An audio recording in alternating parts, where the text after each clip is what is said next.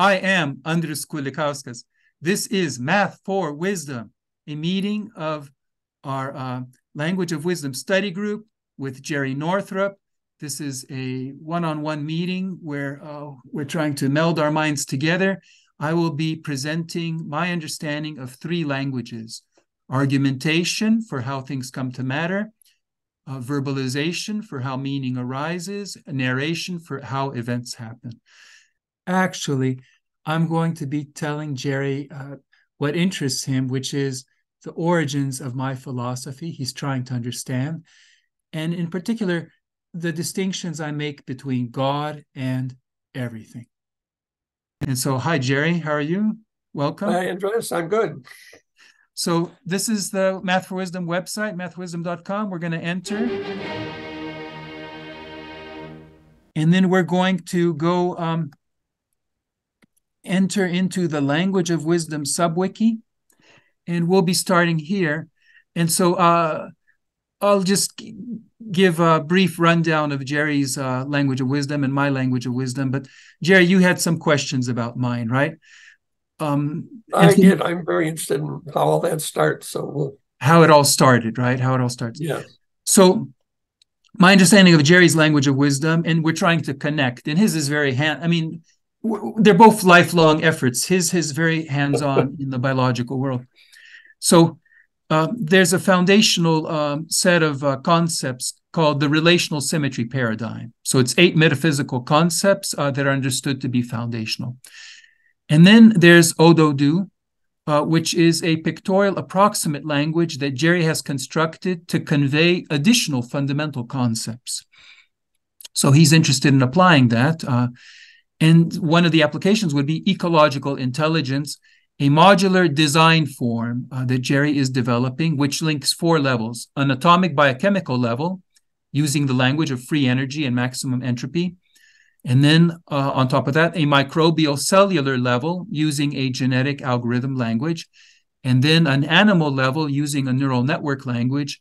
And finally, a human level using our natural constructed and computer languages. And so uh, this is, for example, in the context of um, environmental systems, which could be waste management systems. And uh, we're, we're discussing this in the context of an econet, which could be meant like as an ecological network uh, of humans and their environments, but also an economical network, you know, of humans and environments distributed globally, where we share knowledge uh, and we share failures and successes, and somehow uh, on all these levels. So what would that look like? Is that fair presentation of your? Yep, that's fine. And so there's some key readings uh, you can link to from our website. Um, now, my language is also a language of wisdom. I call it Wondrous Wisdom. That's the brand name. Um, and so I'm realizing it is coming from um, four different directions. Um, and so the first, but they've been, it's been kind of like work in parallel. I think um, a very key dir- direction has been the bottom up. So I, ever since childhood, I've wanted to know everything and apply that knowledge usefully. And I went to God. I was six years old, and I said, you know, I think the most useful thing I could do with my life, you know, would be to know everything because then I would know what to do, among other things, you know. And I just had this unbounded ambition, you know. I thought I and I thought I could do it, you know. I just had brilliant mind but I knew it was very dangerous, you know, because it's kind of uh, treading on God's territory. So I thought, well, the right thing to do, you know, just the wise thing to do is to go to God, however, you know, but make the effort. And so I phrased it this way: I offered God a covenant. Let's say I offered God a God a um, a deal. I said, look, please, you know, uh, because this is so dangerous, you know, because maybe you are, maybe you aren't. You know, I need the freedom to think give me the freedom to think whatever I need to think. Maybe you're good, maybe you're not, maybe you exist, maybe you don't, but I'll always believe in you. You know, it doesn't matter what I think. It just matters, you know, how I relate to you, right? But I do want to know. Okay. So, and then I'm waiting in my room. That's, you know, with all seriousness, like, well, then what happens now? And, you know, I felt this um, sense that, well, that seemed reasonable or valid or, or you know, so I guess that's what the response is. And so then I thought, well, maybe I need a sign. but it very quickly, immediately, I just said, no, don't give me a sign because a sign is always going to be, you know, based on your senses. It's always going to be doubtful. And say your sign is going to be that you didn't give me a sign. If you want to, you'll always give me a sign, right? That's that that'll work for me. Like the sign is you didn't give me a sign. So just shows like at the age of six, like how, you know, and then I made a plan for myself of self-study. Um, which was, well, I need to be masterful at reading, you know, because the idea was I was going to read everything in the world, you know, writing, you know, and and math, you know. Um, but I thought, well, I should start with the core things, you know. So I was always looking like, what are the core things to learn? So I thought, well, history. So I should start history from the very beginning and just absolutely everything onward, right? And so I was very disappointed. It turns out, like, you know, our library didn't have any books on Mesopotamia, let's say, right? So I uh, started with ancient Egypt. You know, I was very disappointed, like this messing up all my plans. But I found three little books on ancient Egypt. I read them, and I was in second grade, and um, I was uh, the teacher uh, gave us an assignment to write a report. It's like a one-page report, you know, on anything we wanted to. So I wrote a 28-page report on the history of ancient Egypt. You know, you know, with scrawling, you know, so that just shows like i think it just shows like my intent you know and so i pursued that. And then when i got to about um, 17 years old i entered the university of chicago uh, which was exciting because you know i had gone to a very mediocre high school. You know i was always independently studying but now i was going to be among people who were you know the highest level uh, of education. And uh, uh, right you know before in high school i thought a lot about physics. I would do little drawings you know and doodlings etc trying to understand you know well what is mass and what is energy and what is you know like from a doodling perspective right? And got some ideas. I kind of liked it like things like the binomial theorem or there's like i mean the, the the pascal's triangle there's a harmonic triangle. I was thinking about things like that. But it just seemed I became very discouraged uh, when I learned uh, the slightest bit about quantum mechanics. But the idea was that, you know, in reality, like all of physics just fades away in reality. You see, and so there's nothing to grab onto. You see, there's nothing, and it's like you can have, you need billions of dollars worth of equipment, and there are no answers, right? Because it just all fades away. It's like nature's saying, like, don't look here. That's what it seemed like. So that was discouraging. I got to be smarter than that. So I thought, like, where is knowledge to be found uh, you know, God kind of like help me, give me a clue. But I just thought, like, well, I have to look where knowledge is most easily found, but nobody wants to look. So that's wisdom, right? I mean, like wisdom, you know, we're the instrument for wisdom. The human uh, constitution is an instrument of wisdom. But nobody wants to be wise. You know, nobody wants to study wisdom, at least, you know, back in the 80s, let's say, right? So, but even today, it's not uh, it's not it's considered flaky you know to be interested in wisdom. Certain no philosophers would would be interested in wisdom which is kind of funny because they're lovers of wisdom but um, but they will never admit it you know and so don't ever believe in it. So then the question was i went to the university of chicago and i wanted absolute truth. Well that was an environment where in the 80s uh, no one believed in anything. Like you were encouraged to ask the great questions, but you were discouraged from thinking there could ever be any great answers but I wanted great answers, you see. So uh, basically, what started was uh, I had a very good teacher, Michael Gillespie, for uh, it was a Common Core class called Political Order and Change. And this is where we ended up reading um, Plato's Republic and uh, Rousseau and uh, uh, not Hobbes, but uh, we read uh, Locke and Hume, you know, and then we read Marx and uh, Adam Smith. So it was a great year of reading books as a freshman. But uh, the very first day, he just asked a question. He goes, Well, what is happiness? You see. And he, he was a very great teacher because for half an hour, we would always discuss some question.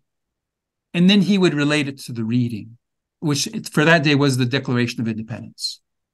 You know, so where they talk about, you know, the pursuit of uh, life, liberty, and the pursuit of happiness, right?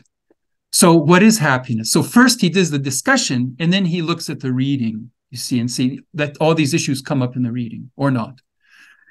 So, and uh, you had to be very sharp to participate in discussion. Like, you know, it went by so fast. People are participating. They're very active. They're from all these fancy schools. So you have to be able to raise your hand to get attention before you even know what you're going to say. you see, like it's very difficult. So you got to be able to think on the fly, like very. But what I cooked up uh, at that time, I said, well, what is happiness? You know, notice like that one person says, well, happiness is joy, like in eating an ice cream. See, and so that's like joy, that's like happiness in the action. But for another person, it's contemplation. It's like saying, oh, that was great ice cream, right? It's in the reflection, it's in the thinking. But for another person, it's in the assurance that, you know, it's the right time to eat the ice cream. You know, it's the right, uh, you know, it's it wasn't stolen, let's say, right? It's the morally good thing to do. It's the appropriate thing to do, right? So this in the being, right? So being, doing, thinking, you can see that this question is triggering this division, right, into modes. And so later on, like I was at uh, Doc Film, um, which is a documentary film, you know, or just basically a film uh, club uh, with my roommate. He was super cultural, Joe Soker, and my other roommate, uh, Sidney Johns III. And we're hanging out for, we went half an hour early to buy tickets. And so I figured out like, well, there's this three cycle and kind of based on, you know, I think, therefore I am, I am, therefore I do, I do, therefore I think. And the basic idea was that the basic problem, you know, which I was dealing with was like, how do you define absolutes? If people are saying everything's just relative, you see, how do you define absolute? If you know, we know how to define the complicated in terms of the simple, but how do you define the primitives? How do you define the simple things, right? So they have to be defined in terms of each other by way of their relationships to each other. And then because I had given a lot of thought about everything, you know, because also like I had this practical relationship with God, but in terms of knowing, I didn't want to assume God. You see, I wanted to assume as little as possible. That was the whole point of making this deal with God, is I don't have to believe in you. You know, I want to know you. I don't want to believe in you. Right? I, I, maybe I have to believe, but I want to believe as little as possible. What Jesus calls, you know, the poor in spirit, the skeptical, right? Like the scientist, right? Like I just want to believe as, you know, maybe I'll have a hypothesis, but that's all I want to assume. I don't want to, you know, have to assume more than that. So, uh, or suppose more than that. So, uh, it kind of like uh, this structure got me thinking about like it's a division of everything into perspectives, into parts. You see, and very quickly later we read Plato's Republic, and he talks about uh, basically like three castes, but it's basically four levels of knowledge. So he has the in his uh, polis in his republic. There's the peasant class, which who should be moderate. There's the fighting class of warriors who should be brave, and then there's the ruling class who should be, you know, these philosophers who love beauty and wisdom and things like that. So, but really, this distinction between the levels of knowledge, like, so there's the false opinion, true opinion. So, craftsmen, they are into these false opinions, you know. and then the what the brave people are, they're they're able to kind of like have true opinions. But they're still opinions, but at least they have a way of kind of like hanging on to the true opinion and not getting sucked into all these false opinions. But then the rulers are actually able to have wisdom to figure out, like, well, what is what, right?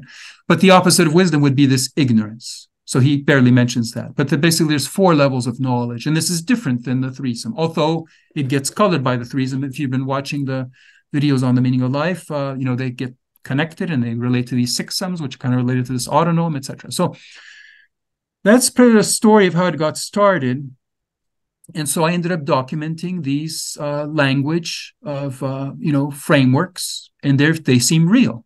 This does not seem like science fiction, like I made that up. Like so, you see a dispute, you say, "Hey, people are choosing free will, they're choosing fate, but those are the only two choices." That's a division of everything into two perspectives. So by the end of the you know the quarter, you know, I went home for Christmas. I had these three basic ABC structures figured out. I had this notion of the division of everything. I was trying to tell my parents. They just thought, "Wow, like this is something very deeply wrong." He, he's I was always a good kid, you know. It's like this is a phase. So my whole life just kind of veered off. You know, I became kind of like uh, just un- uncommunicable. like so now I'm kind of reconquering, you know any points or questions up to here? No, you're doing great. You're ask, answering a, a, bunch of questions and comments that I was going to get into today. So it, it's really good. Keep going. okay, so that's the part A. I wrote here a bottom up documentation of cognitive frameworks of the perspectives by which we experience life, especially abstractly, as divorced from direct experience, concerning the limits of consciousness itself and thereby the possibilities of the conscious and the unconscious. So, what I can say now, like if I had to describe to Dave or um, Krister or Kirby, you know, what's going on now, it's only within the last decade or so that I became aware of this distinction between the, what I would now see is very important between the unconscious and the conscious and the consciousness. So, from my um, documentation, you see, like, and maybe I want to emphasize, like, from my point of view, like, I'm not inventing anything, I'm observing, but very difficult things to observe, you know but I'm observing and I'm documenting, and I'm very satisfied that these things somehow hook together, that it's a very tight language. So, in a certain sense, it is a language in the sense that like, things are just very tightly related. Uh, and it's expressive and it, it, it just kind of like, uh, and now it's basically finishing. But um, so, one of the things that was very helpful, um, and so I realized uh, even the eighth cycle, I realized when I was um, third year graduate student. I took a year off um, uh, from my mathematics uh, studies uh, because I thought, like, you know, mathematics is the, you know, I was always studying all kinds of things, but um, uh, I got degrees in math and physics, but I only was only taking one class a quarter in math, one class a quarter in physics, and I was taking one class a quarter in the humanities and in the social sciences. So I got this very general education, but then I needed to focus on math. I thought that's the hardest thing to study on your own. So that's why I got a PhD in math. Maybe that was a good thing to do. Uh, that's why we have Math for Wisdom now. But then um, after uh, my first two years, I went to um, Lithuania, it was Soviet occupied Lithuania for a year break. I got to work on my independent study on my philosophy. They gave me, you know, a tiny stipend, and I was able to do that. Um, so uh, that was the year before the Berlin Wall fell, so that had lots of experiences there. But I spent a lot of time like reading uh, Kant's Critique of Pure Reason, and so that was very uh, nice to, you know, grapple with that, to understand with that. And so a lot of the details I started to kind of like sort through, and that's when I figured out that eight cycle. And when I and I figured out the shifts, which is most important, that you can add one perspective, you can add two perspectives, you can add three perspectives, and it'll take you around. And then, like with the eight, the eight sum is collapsing into zero, basically. Because like if all are good and all are bad, then the system is empty and everything collapses. So the seven sum, so basically we're starting with a state of contradiction, which would be like God. And from the state of because the God I'm working with is the God where making as few assumptions as possible. So God is prior to logic, God is prior to math, God is prior to the universe, God is prior to love, prior to humans, prior to intelligence, you know, like so if you make so it's basically like a state of contradiction in mathematics where all things are true. And from a state of contradiction, how do you get a state of non contradiction? And so you basically get things like these divisions of everything. Like, so even the story of Genesis in the Bible, you know, those are days of creation. Well, whose days are they? They are God's days. So, what is a day for God? It's an event. So, we'll talk about like narration as a language of events. But so, an event for God would be a division of everything, let's say, right? So then it all makes sense, the story. You know, he's talking about these, you know, there's these six divisions of everything, and then he rested on the seventh day. So the seventh day is like you can have a self-standing logical system without God, let's say, right? But if you add an eighth day, you go back to zero, the whole thing collapses. It's very fragile. So when I figured that out in uh, that year, like my whole mind, uh, like I had like a mental orgasm, you know, like it's like just bubbles in my brain, just going, whoa, whoa, like it's just really weird. I've had that maybe maybe that was certainly once, maybe another time, but basically, like I had these weird glands in my brain off. uh, and you know, what do you do? So that was in 89. You see, now, like many years later, I look back at math, I'm looking at Bott periodicity. It's an eight cycle also. And the evidence is building that it may very well be the same eight cycle. You see, so it's exciting um, because it's capturing, I think, the symmetries in math. So but just shifting uh, to say two things. So I knew about this one, two, three shift. Then I realized, well, it's really about adding a perspective. Or adding a perspective on a perspective, or adding a perspective on a perspective on a perspective. And so that's kind of like the first, second, third person. Like I is the first perspective, and then you is a perspective on a perspective, and then other, this is how I call the third person, is looking at the side, a perspective on a perspective on a perspective. And then the base is God. So God would be like the zeroth person. So that's one way to think about God is the zeroth person. Um, but now, like uh, uh my sister for Christmas or something, she, she gave me a book um, by Kahneman uh, called uh, Thinking Fast and Slow. So what Kahneman and Tversky did, um, and then Kahneman, uh, Tversky passed away, but Kahneman got the Nobel Prize for Economics. He did a, maybe 100 experiments uh, that distinguished between the unconscious and the conscious, where the um, unconscious is um, what they call system one. You see, you couldn't talk about the unconscious and the conscious. So what they did was very clever or very straightforward. Said we're just going to talk about system one and system two. And system one is very fast and intuitive, and system two is rational and slow. But see, what they did then is that they did a variety of tasks, like let's say getting people to place bets. And they were able to show, like, if you study how people place bets, you know, or how they draw conclusions or whatever, that sometimes they have system one operating and sometimes they have system two operating. So when I realized, oh, this is the plus one and plus two, and there should be a plus three. And more and more and more, I got better, better intuition explaining that um, uh, that's these three minds. And I would call them simplest, you know, I, I try to call them, and these are just terms, but I try to use terms that match with ordinary language, common sense language. So I call it uh, the unconscious, the conscious and consciousness. It's a little bit confusing because you know consciousness and conscious are two different things, but but that's how we use those words. You know that there's these two levels, uh, so I call them that way. Now, uh, so now what I'm able to say, so now like back in 87, 88 is when I realized I need three languages. But now, just a few days ago, I realized, oh, that's the language. Argumentation is the language of the unconscious.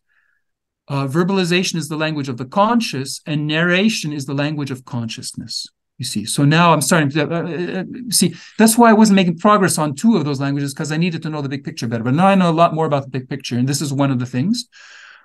Um, so that's the first point, and I kind of touched on the second point, which is okay. So you get all these facts. This is just empirical science, collecting facts, trying to fit them together, trying to but then the other way, like, how do you build a theory from this? That's not even really a theory, it's just a bunch of facts.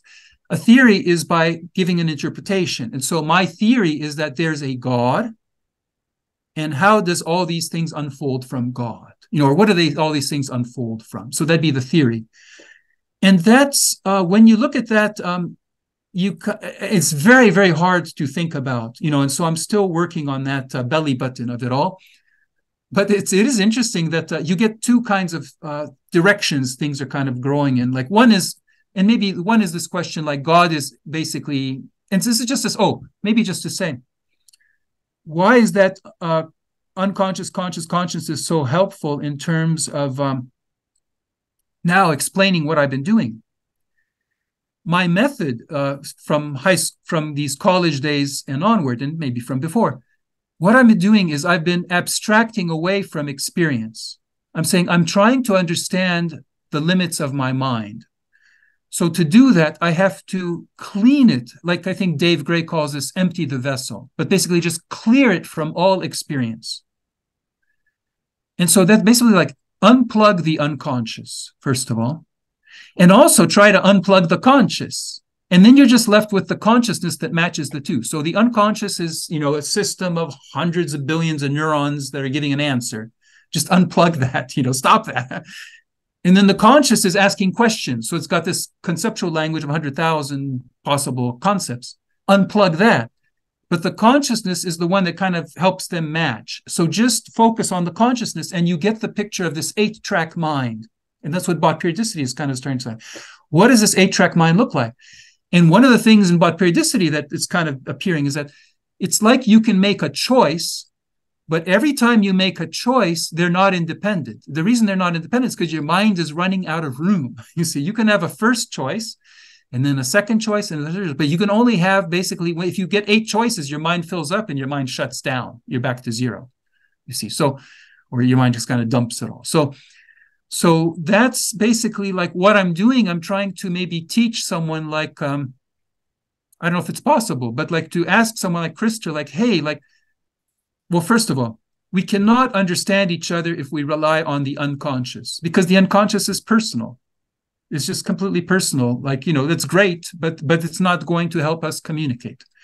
So we can communicate through the conscious like not through our answers through our questions. This language of questions we can communicate that's why the conscious is so important because you can that's probably like why the conscious got so emphasized is because we want to be able to share with each other knowledge or even share with yourself your knowledge. You need to put it in conscious form. But furthermore uh, to really understand your you know to really kind of like understand what's going on you need to shut that down and so that you can just focus on like what is the consciousness wanting to do? What are the opportunities for the consciousness so we're going to get shut down soon. Um, then we'll reboot. But do you have any comments right now on this so far? Uh, I, I, think this is uh, fascinating. I've been reading an awful lot of what you've written. Mm-hmm. and it's been difficult for me to actually piece together how it evolved. And i'm fascinated with it because I had a, a similar but quite different uh, history and development and came up with very similar structures. And so my real interest is to try and find out how did you come up with yours because it seems like it was a very different path from 9 mm-hmm. And if we can combine these together, what can we learn from that? And yeah, and it's exciting that when it makes it real, and then we can bridge it, yeah. we can learn, and it's real. Yeah and so maybe to say like that's why um, immediately when I saw your um, relational symmetry paradigm, those eight concepts, immediately I saw, well, this is like you saw with me, like we're speaking a similar language. Right, we're speaking the same thing. Yeah. yeah. And so, you know, we could quibble about different things, but um, basically, like for me, one of the, it's like there's two different fourfold structures. One of them is the foursome, it would be a division of everything. Right. And so when the consciousness experience is like four perspectives are used and four are not, where they're invisible to us the four that are used would be like whether, what, how, why. They're used for the sake of knowledge. So that'd be one variant. But there's another variant uh, that doesn't really come up from um, studying those structures. It comes up from thinking in terms of God. And maybe so that maybe that's why it doesn't quite show up the same way in your uh, thinking. You kind of drew it from the laws of form. Um, but basically, like when grappling with the notion of God, you get this very uh, important what I call equation of life. And it says that uh, life is the fact that God is good, but eternal life is understanding that God does not have to be good. So, to maybe embellish that a bit, like to say, well, God is beyond conditions. Good is God within conditions. Life is the fact that God is good, means it's the same God, you know, beyond conditions and within conditions. But eternal life is understanding God does not have to be good. Like God is bigger than that. You see, God, good is in system, in conditions. You know, God doesn't have to be good. God is prior to goodness. And the, what that basically, the way we know that is because life is not fair. You see, every time you see life is not fair, you go, yeah, God does not have to be good. You see, and the fact that life is not fair is essential for us to be able to grow. You know, we need to be growing.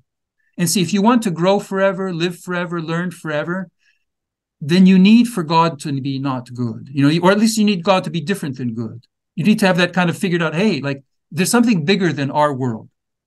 Good is just in our world. Good is just conditional. But we in this world, we can relate to things that are bigger than this world. We can have an attitude that's bigger. You see. So it's the difference between, uh, and so like even in physics, you see uh, the ambiguity of entropy you see like uh, is the earth a closed system or an open system you see are we living in an open system or closed system? So in one sense we're living in a closed system. You know like if you include the sun if you like you know everything's going to fall apart. But in the other sense we live in an open system. This is loved by the sun right? And it's, it's kind of ambiguous. Well which is it? It's both. You see justice is saying that we lived in a closed system. You know that things have to be fair. This insistence that things have to be fair is like saying well and they can't be fair. You see but mercy is saying that uh, you know, it just it can you know grace, you know, like there can be more than you know, just get more.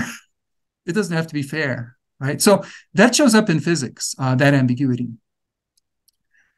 Um, so the point being that like so both of those appear, and so like I think in my interpretation, you know, like I kind of have talked about this with you before, like I suspect that uh, we would want to add a blank page. You know, like you start with a distinction, kind of like Spencer Brown, I think, uh, does. You know, you start with a distinction, but let's say before you have a distinction, you have a blank page, right?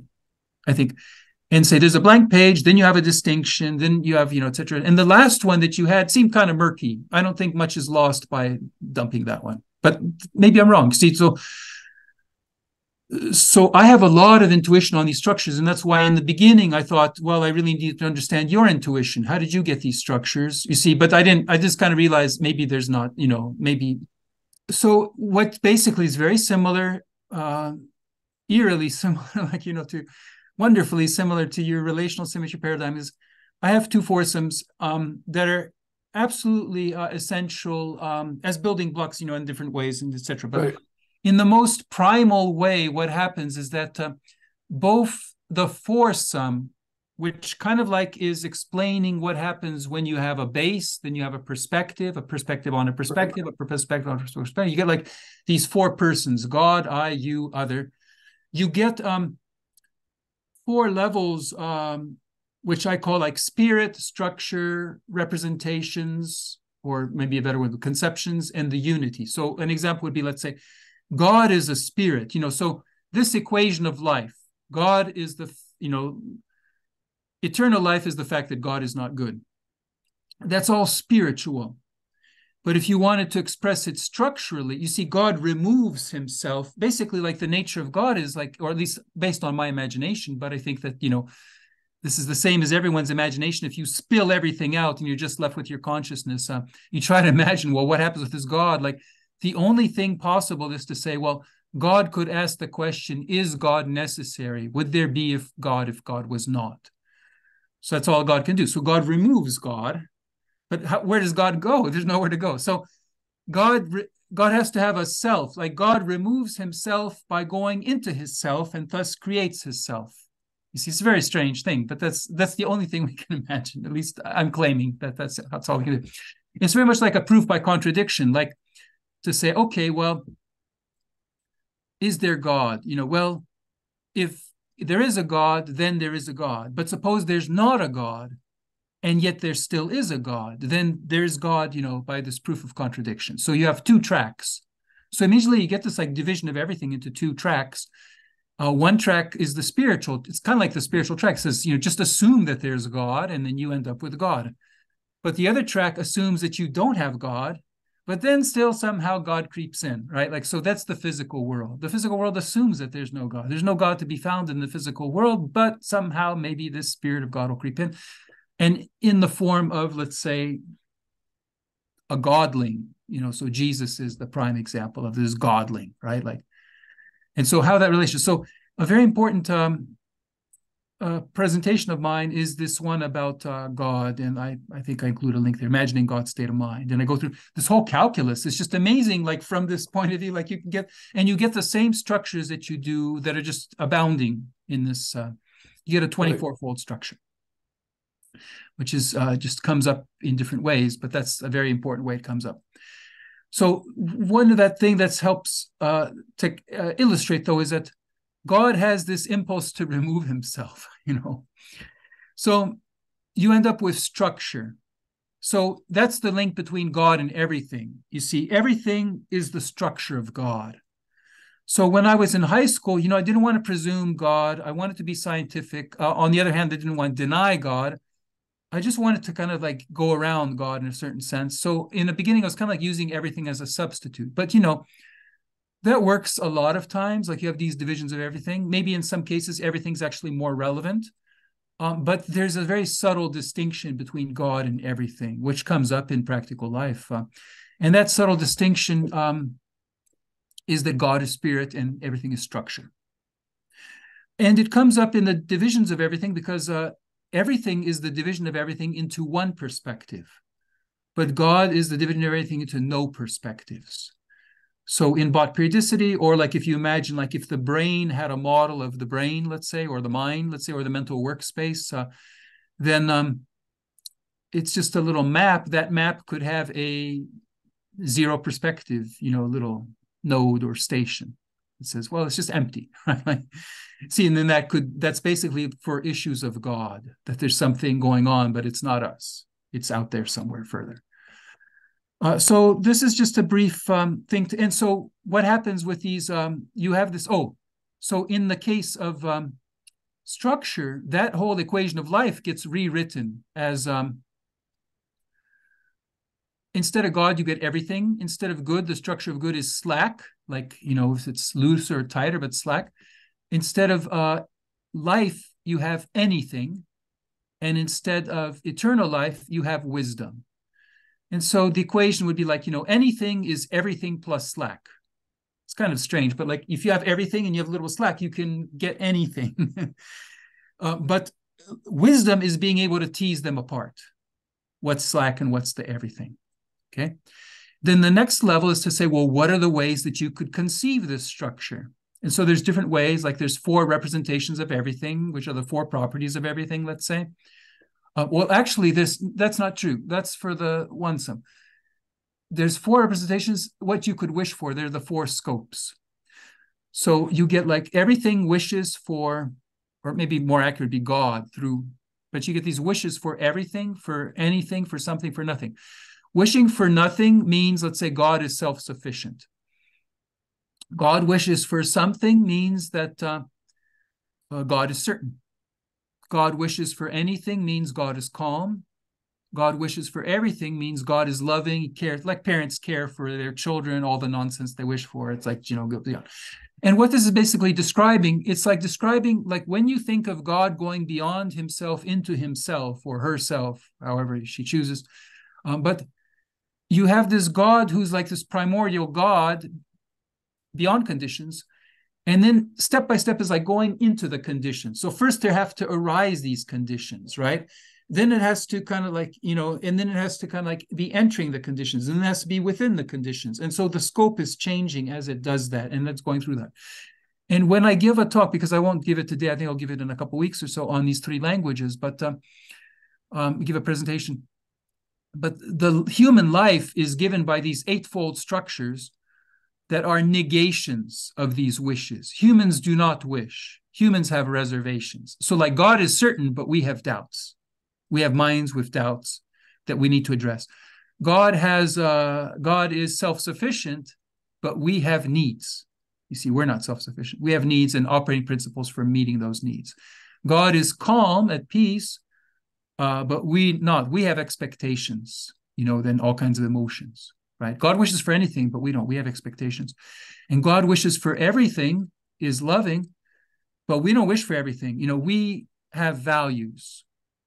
So, like we have our deepest values and stuff. So, in a certain sense, like deepest values, it's like an aspect of love, but it's kind of like a substitute for love. Like, you know, love doesn't need any kind of like uh, focal point, let's say. Love is just all over the place. You know, we have focal points that we work from, we have values that can replace us. You know, those values are very pretty and, and it's interesting. So, and so how does the um, these eightfold structures relate us to God on different questions in different ways? And then you take, so then you get six families of structures. You know, so you have eightfold structures with have ways of responding, blah, blah, blah. Then what you do is you take, let's say, God who's self-sufficient, and you give him the doubts and counter questions. Normally, that would be the God who, you know, so how would God, who's self-sufficient, deal with that? Well, it turns out that gives you the division, eight divisions of everything. But if you took that God who's self-sufficient and you gave him uh, or her um, the emotional world, then that God would come up with the six conceptions, which are these criteria representations, ways of conceiving these divisions. But if you gave the God with emotional life, you gave them, you gave that, no, if you gave the God who's certain. If you gave the God who's certain, you gave him the emotional life, then they would come up with 12 circumstances. So those are the three basic tables of structures by which we experience either a perspective or a perspective on a perspective. But then the three languages come from this eightfold, I call it the eightfold way. It's like Buddha's eightfold way. but basically there's three variants, permutations, which are like, you know, the Lord's Prayer or the Beatitudes or what I call St. Peter's Keys to Heaven. But but if you take those eightfold frameworks and you look at either God who's um, if you look at God who's certain, no, I'm sorry, if you look at God who's self-sufficient, then you'll get the language of narration. That's how consciousness sees things, but it'll be like threefold units. But if you look at God who's certain, experiencing this, uh, you know, like values and questions and whatever that we have for our the human will, then God who's certain looks at that and sees a language of um, verbalization, which would be how meaning arises, which would be like the language of the conscious, how we're able to ask questions. And then if you take the God who is calm and you give him like these human will and God will relationships to worry about, then that God will see a language of argumentation, how things come to matter. So those are the three languages. And so now I can see more, understand, explain better. But like back in 87, I saw, oh, I saw the Eightfold Way, I saw three permutations, I saw I have these static structures, but there's got to be a way to have a dynamic language. I thought this must be a framework for a dynamic language, and there should be three of them. And so then I went to Lithuania with the idea that I will, I think the language of narration would be the easiest for me to work on. And I will uh, figure out, uh, and so I chose some data. I said, I'm going to study 60 Lithuanian folk tales. And I came up with a beautiful theory of narration. So I'll be able to present that, maybe not today. Um, but um, so all this, oh, so maybe the point is, so that's the second level. The third level, oh, that's the third level of conceptions. You get these wishes. Uh, so there's four conceptions of everything in terms of um, let's did i get this right no the four conceptions of everything are um hmm. I'm getting confused. Good has two conceptions increasing slack decreasing slack. Okay four i think everything has four conceptions. Yeah everything has four conceptions um there would be these uh, not the wishes that's something that, that's more like the how, how god is conceived. Everything as four conceptual would be uh, like related to everything anything something nothing. Uh, so if you take those six together anything has six conceptions which are the choices that we can make in life. But goodwill kind of like goes beyond that. Those are the directions of goodwill. Like so for every like there's eight directions of goodwill. So wisdom when you try to conceive it it practically becomes about showing goodwill. What are the ways of showing goodwill? And then when you look at the unity of that uh, the unity of um, i guess the unity of those four wishes is love. Love is the one that kind of like is the most expansive. So maybe maybe it is those four wishes. Uh, the unity of increasing slack decreasing slack for good uh, which is like identity uh, is um, perfection. So, love is the unity of the conceptions of the structure of God. So, when they say God is love, then the technical way to say that would be love is the unity of the you know conceptions or the ways of thinking about the structure of God. Uh, whereas perfection is the unity of the conceptions of the structure of good the human will is how we unite the choosings, the ways of choosing, which are the structures of anything, which is this, you know, which is, I mean, which are the conceptions of anything, which is the structure of life. So will and life are related. But God's will is related to eternal life. And so then the equation in the end becomes that, you know, the human will is to love the perfect, but God's will loves the imperfect. You see, it's very beautiful. And see, that idea, that whole statement there is very lovely. Uh, you know, we love the perfect, and we're just, but God's loves the imperfect, God's will. That's why we have to follow God's will, so that we could love the imperfect. And this is simply a mechanical result of applying this system. I just love it, you know, I mean, because it says, well, that's a very useful, profound thing to, for me at least, I think. And so that's a four by four. So when you draw four by four, and I have this four by four, you see it's the same four by four. And the, in a certain sense, there's a deeper four by four, which is basically taking God's four investigations and humans' four investigations, and you get this four by four. I think that the eighth cycle is a four plus four. So you have the same four and four, but you add them and you get an eight track mind, you see, and you're kind of going through them. So, but see, this is all very uh, difficult and murky, and I'm working on it. But I'm and so then what I decided, I was working on it and I decided, well, I want to be able to talk about these research. Then I thought, well, I need to give some.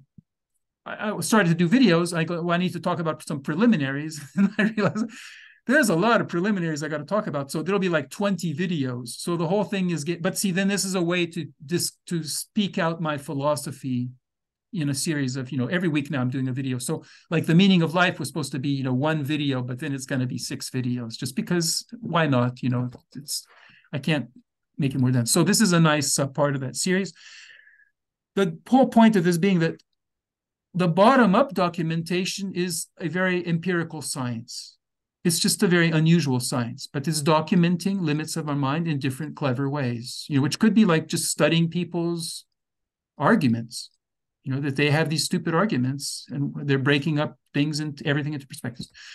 But the thing that i've been just telling you about this part two it's a top down interpretation. So it doesn't say things have to be that way but it's saying theoretically what's a useful way to talk about it? So i'm talking about it through some primordial god right but you your theoretical model could be to say you start with consciousness so that could be an equally valid model now probably like you're going to pick up on certain things like then I'm going to pick up on different things. So if you make certain assumptions, you know, in your theoretical model, you're going to get a different. It's going to have pluses and minuses. But I kind of realized you may have pluses for figuring out these languages of argumentation, verbalization that I have not achieved, you know, in 35 years since then. Uh, although now I feel in a better situation, but I would lean on your. This this is where like it would be helpful for me to lean on your instincts, because see, it's a different. Like you said, you're in the midst of it. See I was able to get the language of narration because that's the language of pure consciousness, I think.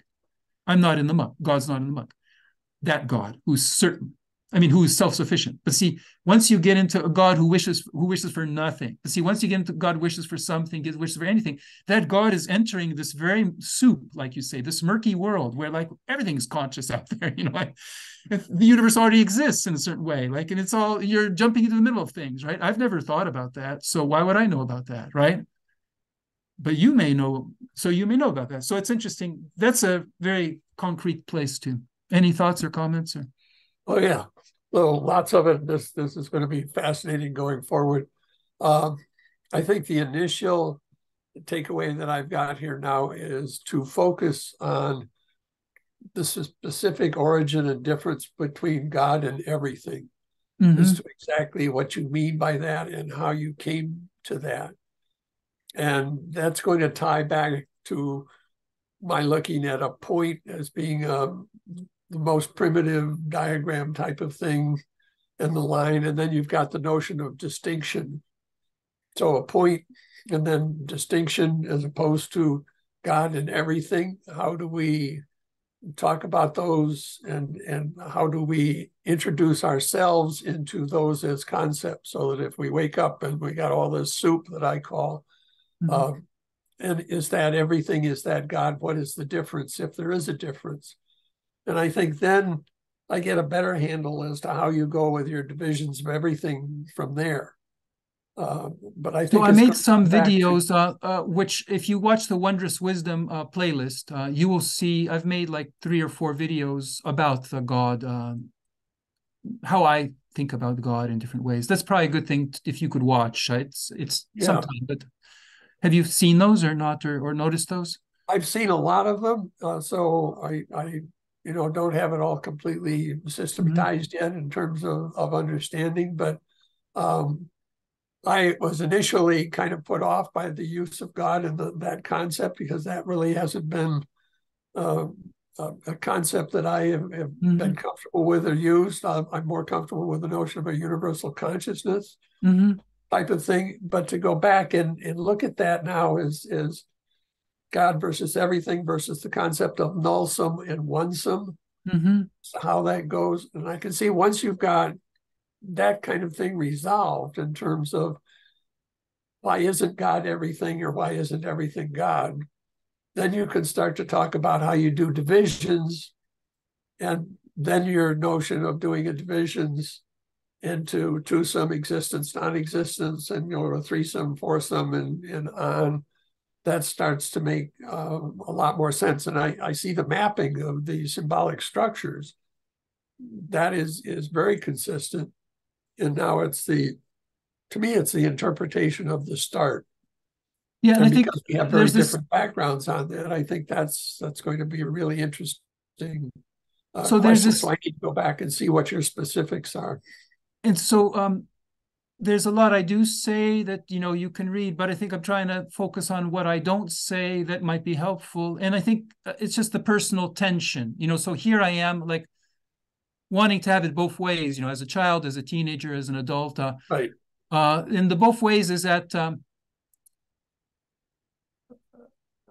you know, I, I I'm kind of like God friendly, you know, like I prefer there to be a God than not a God. Like, you know, why not? Right. Like, you know, so I'm God friendly, but in a certain sense, it's like at arm's length. It's like I want to be in charge, right? Like I don't want you know, like uh, like I don't want, you know, like what can we get without you? You know, what can we do without you? Like, so first of all, like I prefer not to assume you, right? Right.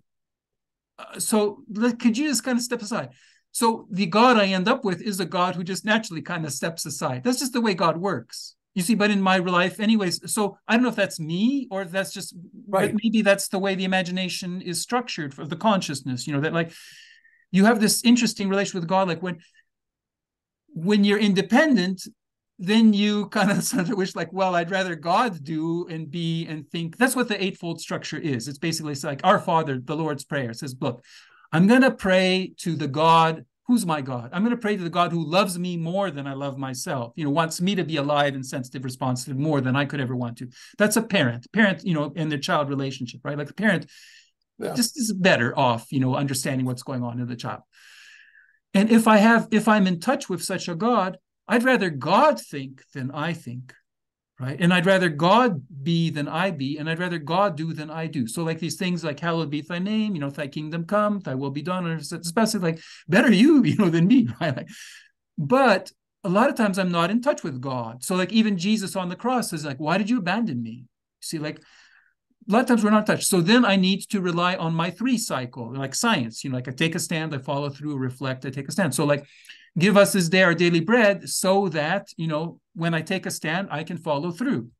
I'll do that but you got to feed me right? Like, or yeah. you know like like uh i'll look at what i do right? But you got to forgive me my sins you know like like just help me out a bit like you know because i want to look at what i do right? But you know forgive me my sins the way that i forgive those others or like yeah. you know i want to take a stand you know i think a whole bunch i want to take a stand I'm vulnerable. Like, don't lead me into temptation. You know, I'm trying to make a good choice, right?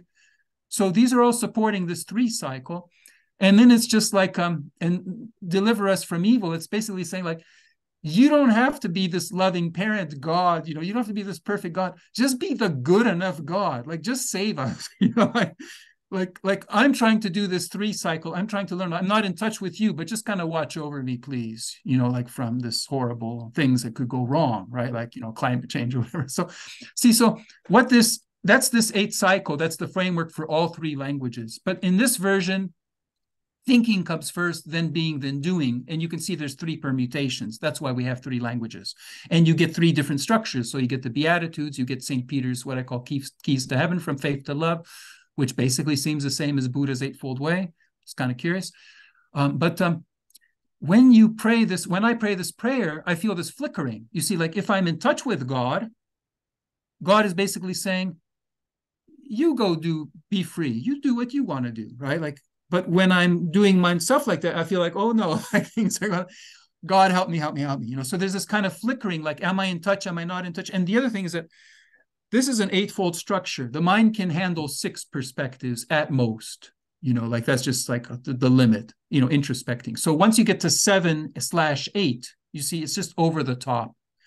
So that's why when you pray these things, you pray them, All, it's like it just flattens a person out. That's why the prayer is very effective uh, from that point of view. So, so like when I pray that prayer and I make each line resonate, or just I, I deduce the structure, it's like, it's like, like God is somewhere like the universe rips open and like God is somewhere out here I can't see. It's like I'm sitting in a well, you know, standing in a well and there's like star above that's and I can't see the star, but I can feel that I suspect there's a star. Maybe I could try to see its reflection in the bottom of pool of the well.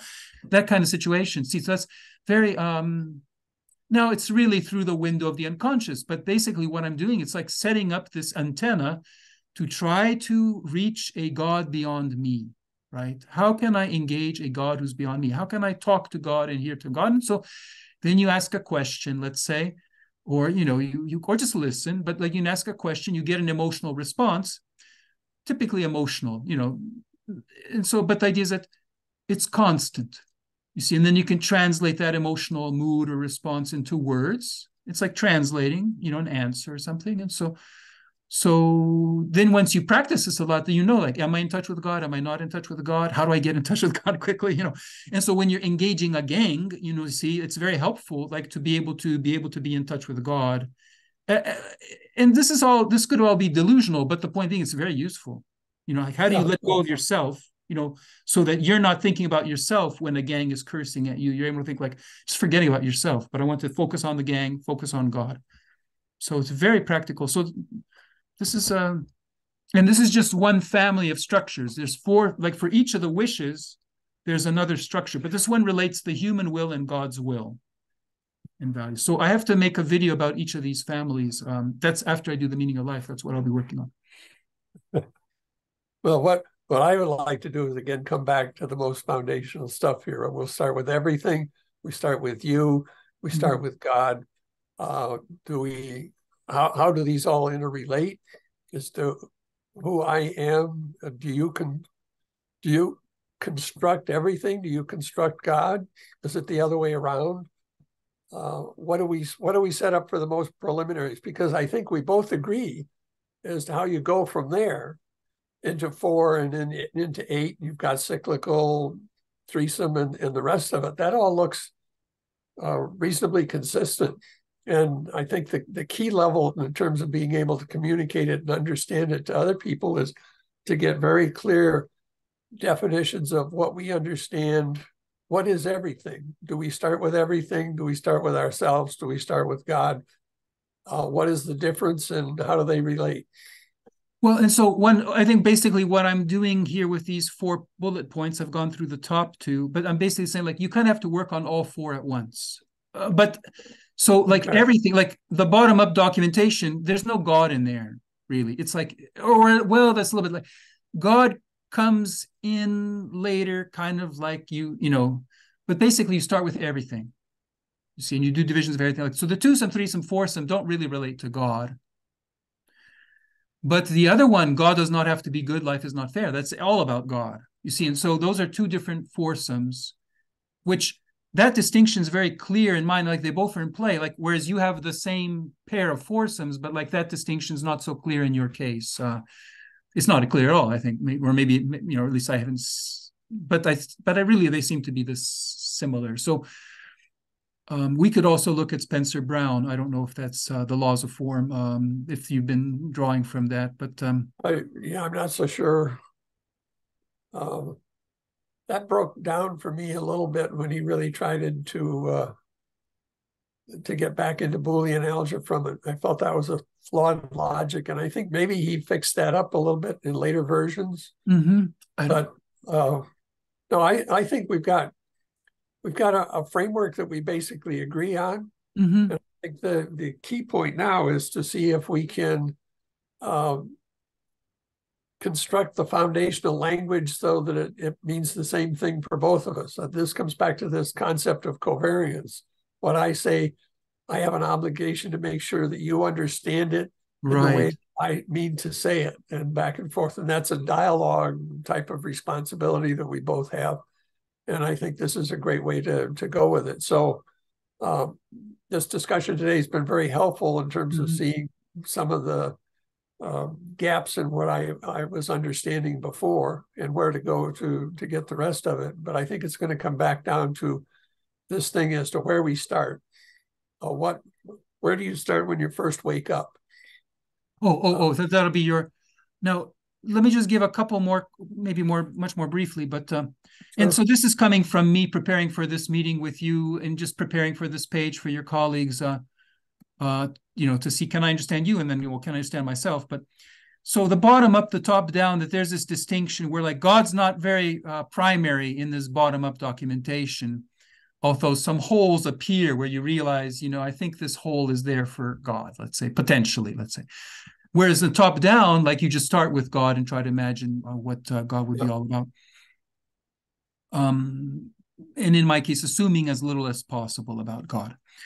Yeah. Uh, so then, um, the third one is really related to math for wisdom in the sense that, like, this is inner life. So here I'm talking about the unconscious, conscious consciousness uh, from my experience of it, especially with regard focusing on the consciousness, you know, throwing away the unconscious and conscious as much as possible.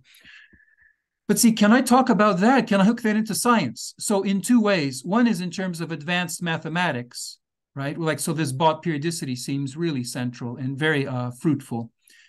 And then it's very interesting that Bott periodicity, what you end up, I've been talking to Thomas Gaidosik and I'll be talking to John Harlan, but uh, it's based on um, these um, basically like divisions of everything. But what they're acting on is this universe. It's like a model of the universe, which is called uh, O infinity. But basically, like O2 would be rotations of a circle and poss- and also reflections, right? Like uh, they're, they're isometries, but so isometries would be either like you can rotate a circle. How do you map a circle onto itself and preserving distance?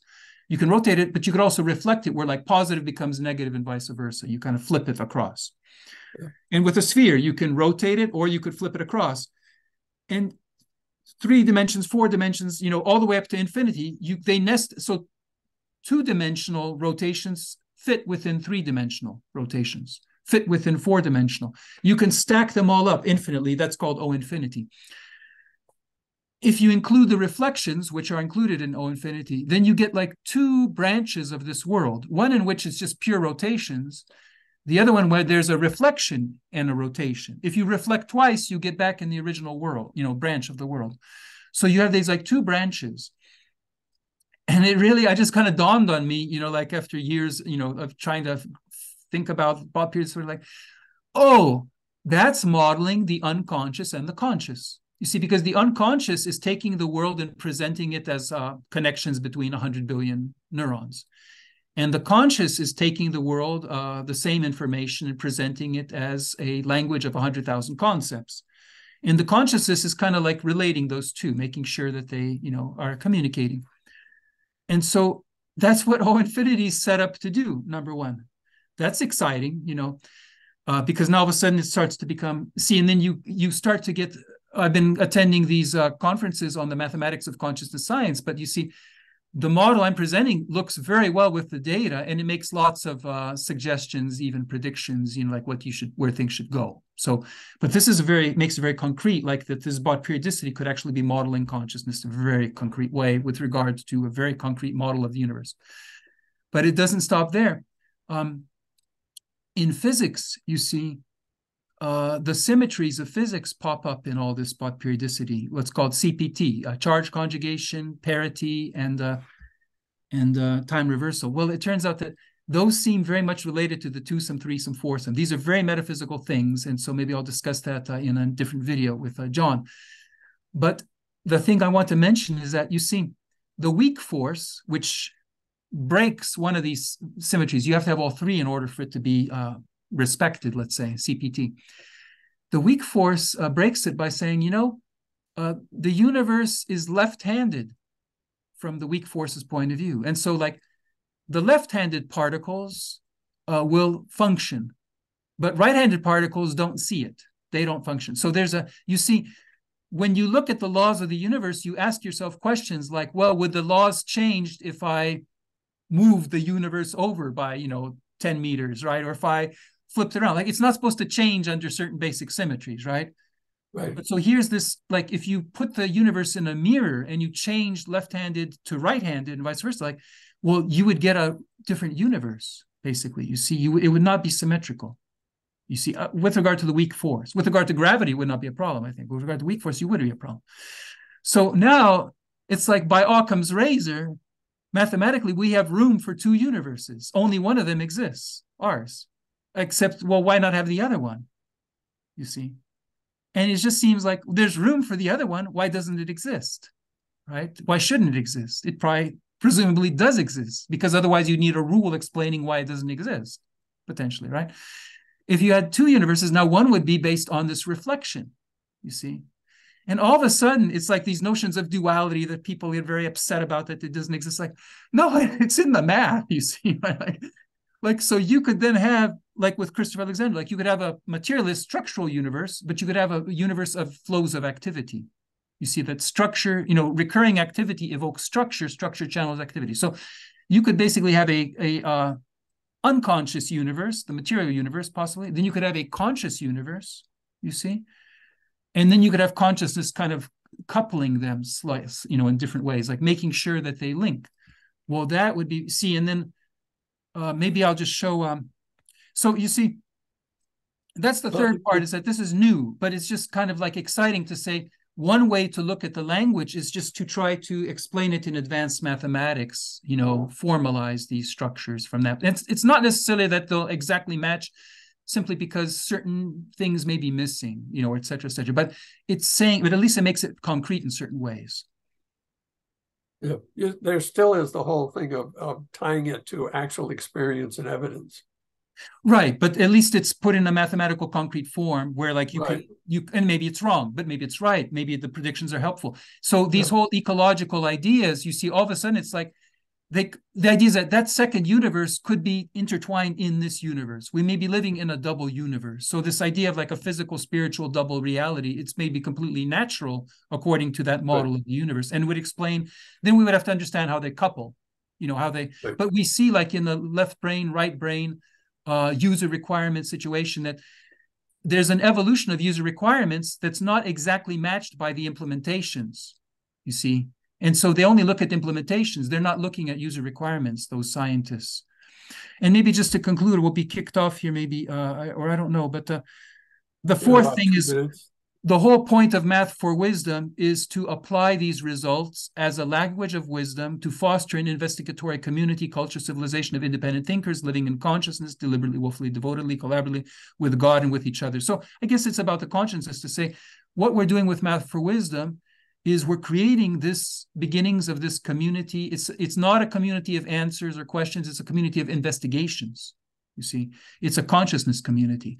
So um, uh, can we do that? Can it hook into other such communities and be like, you know, living, uh, participating in?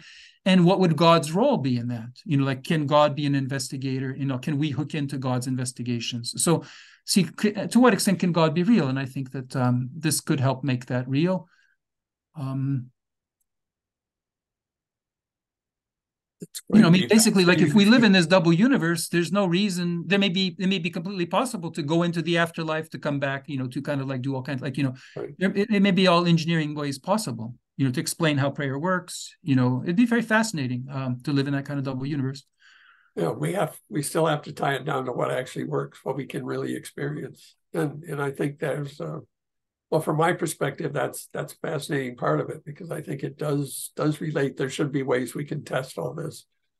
And so and so to connect it, um, I had a uh, oh here it is the language of wisdom. So I just want to show and you you you know you have the link, um, but I just want to show. Uh, oh, well, I have the link to the language of wisdom, the three languages. Oh, the three languages is down here. Here it is. Yeah. I wanted to show just at the where they put in the um I've been working on this today. Here's this uh, my version of your uh, autonome.